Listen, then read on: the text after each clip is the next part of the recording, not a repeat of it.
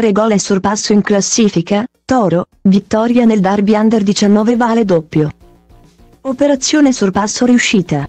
Il Torino Primavera fa suo derby, batte la Juve per 3-1 e la supera in classifica. Tenendo la scia del Lecce capolista. I Granata festeggiano al termine di un match che hanno saputo gestire meglio degli avversari. Ottimizzando le occasioni a proprio favore e difendendo bene la propria porta. Indirizzano le reti di Weidman, su rigore, e di Nie subito dopo. Prima della chiusura finale di Ansa, per i bianconeri la doccia fredda arriva a inizio ripresa. Da quel momento poco o nulla per ribaltarla.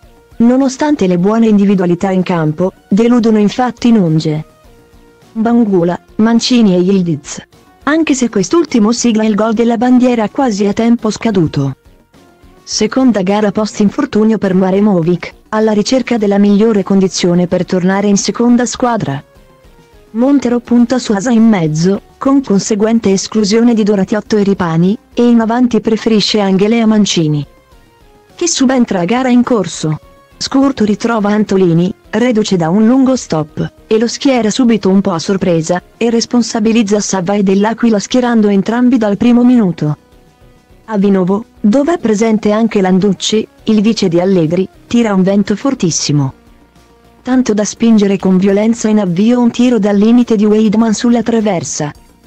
I bianconeri rispondono con Turco, ma la ripartenza del centravanti bianconero si conclude con un errore a tu per tu col portiere.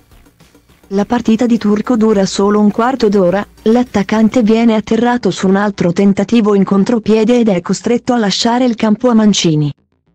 Il vento è un fattore con cui convivere per tutto il match, a pagarne soprattutto la costruzione del gioco da ambo le parti. Allora Nie ci prova alla mezz'ora sugli sviluppi di un calcio d'angolo, colpo di testa pulito. Ma palla fuori. Di contro la Juve, ancora in ripartenza, sbaglia con Mancini che non ottimizza una bella cavalcata di Nunge. Che poi pasticcia inizio ripresa con Daffara concedendo un'occasionissima dell'Aquila, palla alta. La partita cambia subito dopo, col Torino due volte a rete nel giro di 4 minuti.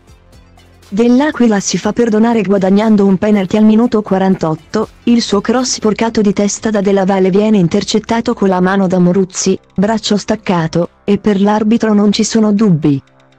Dalle 11 metri Weidman non sbaglia, ma la formazione di Scurto non si accontenta e al 52 raddoppia con Nie. Lasciato ancora troppo libero di agire dentro l'area di rigore bianconera su un altro calcio d'angolo. Montero prova a inserire forze fresche dalla panchina, ma i bianconeri non danno mai la sensazione di poterla riaprire. Mentre il Toro difende con ordine chiude i conti all'82 con ansia, abile a ribattere a rete una respinta corta di Daffara. Su una punizione di Weidman. Allo scadere Yildiz ci mette la firma con un bel tiro da fuori. Ma è troppo tardi. Festeggia il Toro, con merito.